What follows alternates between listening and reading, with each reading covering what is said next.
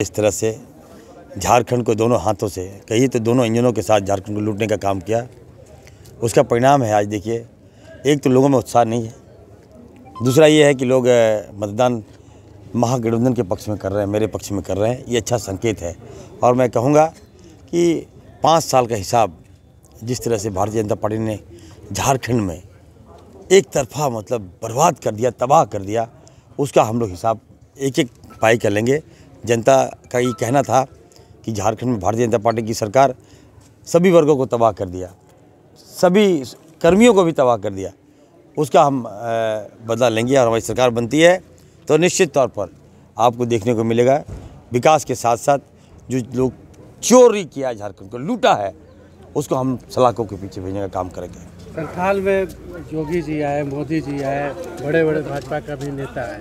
तो इसका असर इस, अब चुनाव के मैदान में आपको क्या लग रहा है? देखिए, अब मैं लोगों को, अब आप जनता को मूर्ख आप नहीं बना सकते हैं। जनता समझ चुकी है, समझ चुकी है इनकी चाल क्या है, इनका कथनी और करनी में अंतर है। अगर इनसे रोजी, रोटी मांगेगा तो कहें कि नहीं, पाकिस्तान पर हमला कर दिए। रोज़गार मांगेगा तो कहें कि नहीं, इमरान खान को प्रधानमंत्री हम बना दिए। तो समझ में नहीं आता है। स्थानीय मुद्दों पर बात किया या नहीं? स्टार प्रचारक भाजपा का आए थे या फिर महागठबंधन देखिए जो नेता लोग आए उनको स्थानीय मुद्दों के बारे में क्या जानकारी है?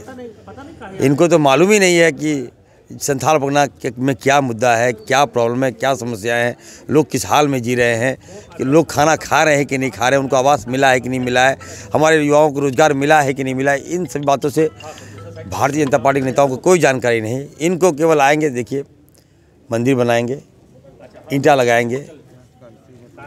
पाकिस्तान पे हमला करेंगे।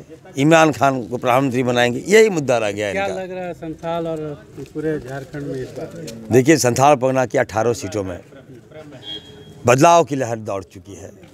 और मैं ये कहूँगा मैं दावे के साथ कह सकता हूँ कि 18 में से आप देख लीजिएगा 18 में से हम लोग 18 सीट ला रहे हैं और हमारे जो महागठबंधन के जो हमारे नेतृत्वकर्ता हैं हेमंत सोरेन वो तेईस या चौबीस को शपथ लेंगे।